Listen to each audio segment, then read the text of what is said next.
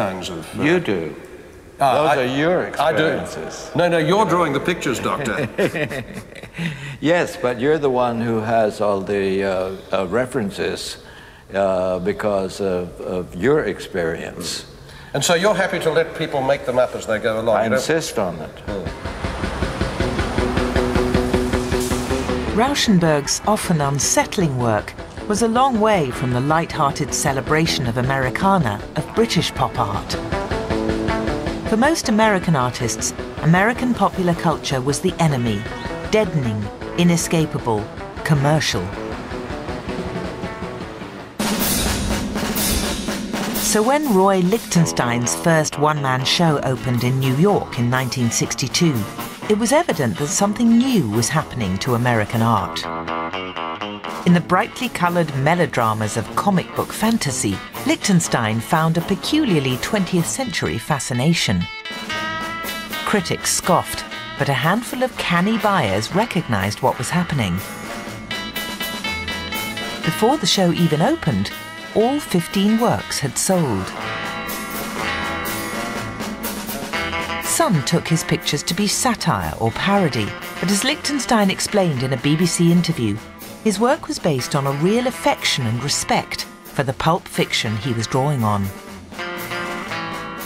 It's dealing with the images that have come about in, in the commercial world and it's using that because there are certain things about it which are impressive or uh, bold or something. And it's that uh, quality of the images that I'm interested in. But it's not saying that the commercial art is terrible or, or look what we've come to that, that may be a sociological fact, but that's not what this art is about.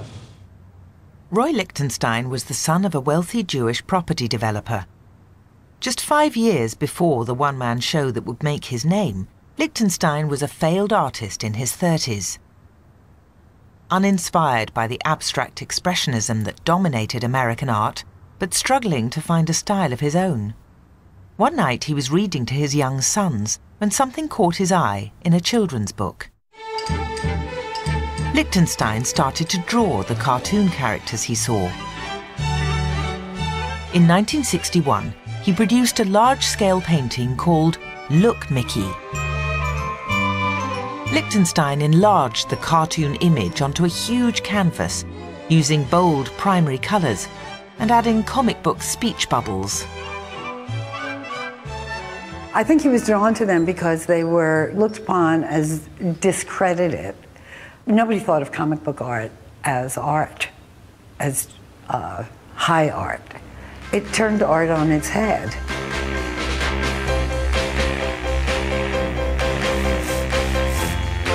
Comic book images use tiny printed dots known as Ben-Day dots to give an illusion of depth or light and shade. Lichtenstein faithfully replicated the dots and all the graphic devices of comic book art in his huge canvases, exaggerating the familiar and making it strange.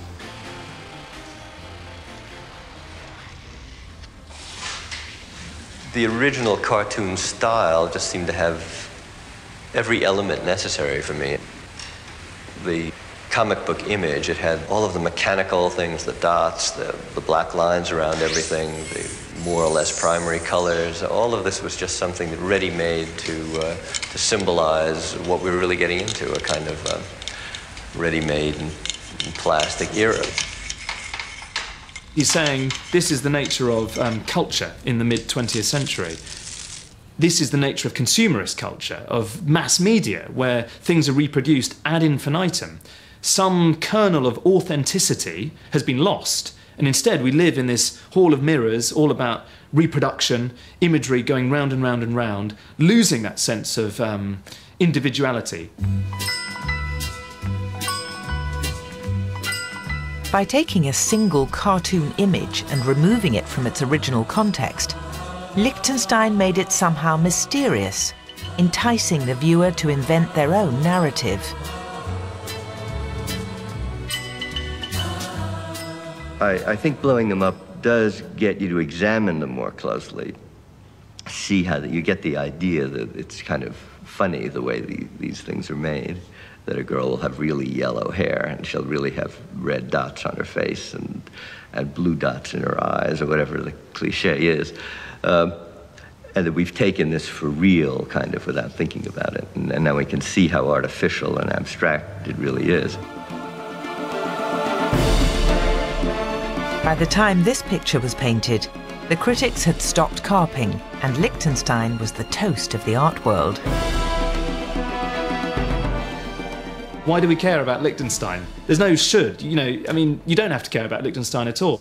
But at a time when high culture was threatened by the mainstream, he actually took what was threatening it and turned it into a strength and reinvigorated art in the process.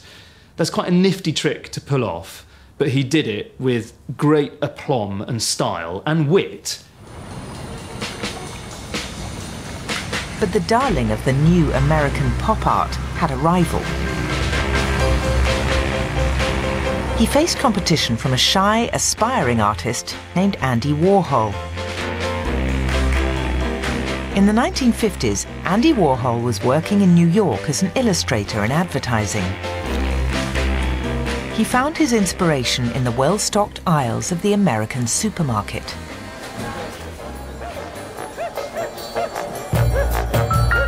In 1962, in his first one-man exhibition, Warhol displayed 32 paintings of different varieties of Campbell's soups.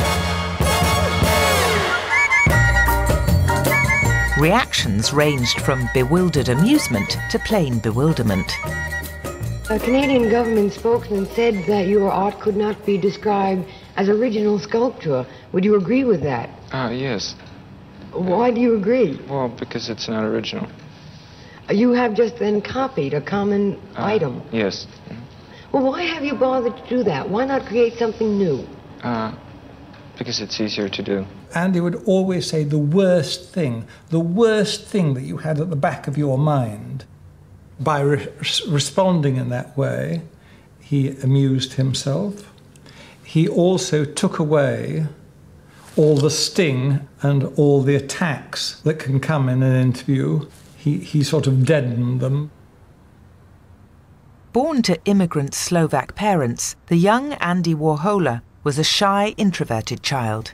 Awkward and often inarticulate, Warhol instinctively grasped the essentials of American popular culture, from its mass produced objects of desire to its obsession with celebrity and fame. His silkscreen prints of American icons strikingly brought the two together, most famously in his series of images of Elvis and Marilyn Monroe. in some way, by mass producing an image again and again and again and again, you almost drain it of meaning. That the thing that was so special about Marilyn Monroe, the fact that she was unique and uniquely beautiful, maybe, becomes defeated by the mass production of the imagery.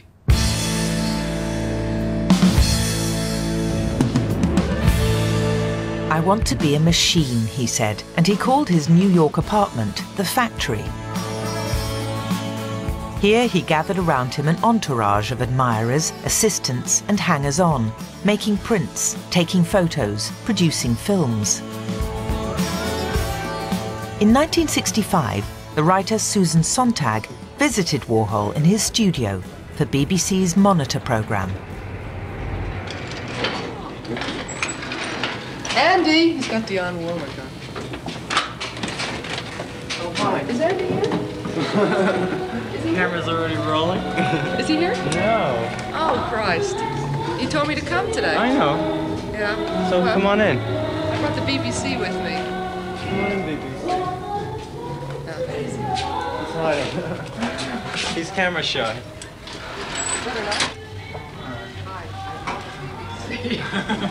you lied. I thought maybe you'd like to see the eclair, Yes. and they oh, want I to see do. you. Yeah, I really want to see the. And this is, Can I uh, really see the eclair? Yeah, oh, look, that's all I want it's, to see. it's, it's, it's, doing you right oh, now. wow. All right, it's uh, you know, it's like spontaneous. Oh. Okay. Wow. Can I really see the camera now? Well, you mean while it's uh, watching Oh, you? yeah, it's just. you watch it and it watches you. Can we do a cheese movie? All you have to do is say cheese, cheese. All right. No, the next one- the next three minutes could be a cheese movie. All right? What's the spirit of this one? Uh, it just you don't have to do anything. Just what you're doing. Can I move? Yeah, you can move, but not too much. The most influential artist of the late 20th century is uh, Andy Warhol, because Andy uh, uh, addressed all of the issues of the day. He did all the things that an artist might do at the time in a way that nobody else was doing. He loved the movies and he loved stars, so he creates his own cinema. And he has his own stars. In a sense, he recreates the cultural world. A few years later, Warhol was followed by the BBC on a trip to London to promote his latest film. First stop, the Hyde Park home of Britain's premier film critic, Dilys Powell. And I know you love the movies. I'm going to ask you if, if you have a favourite film star. It's a sort of question people ask me, and I can't think of anybody. I can't no, have I any really names. like everybody. And You like uh, everyone? Yeah, I really do. I've seen up to now Chelsea Girls in a very sort of truncated version, and I really didn't know what was going on. It was so cut. And, and I saw Bike Boy and Flesh, which I really liked very much indeed. Well, what we do is we're just learning how to make movies. No, but you, you do it with real enthusiasm, don't you? She's so nice. Yeah. Yes, all of you, all three of you. Oh, this just Yes. fun. Marvellous, yes, marvellous, yes. Warhol said pop was about liking everything. Certainly the art market liked Warhol, and still does. In 2012, his 1963 painting Double Elvis sold at auction for $33 million. Not everyone, though, is convinced. Warhol um, is probably my least favourite artist of the 20th century, and I think you know it's an argument I've had with many, many uh, kind of nabobs of the contemporary art world. Is to say to them, do you really want to sit in front of an Andy Warhol silkscreen print for an hour or two, uh, as you might? Sit in front of a canvas by Francis Bacon, for example, and just sop it up? Is there enough there to aesthetically interest you for a long period of time? Andy Warhol is a, a brilliant, you know, symbol of America, really, and he managed to do a great thing, which is to be iconic and ironic at the same time in his work, which is a lot of artists can't do that. And I think, you know, he kind of poked the finger at America, pointed, laughed at America, and you know, he kind of embraced its its weaknesses and its strengths. Genius or showman, Warhol brought to a close 20 years of dramatic change in the story of art.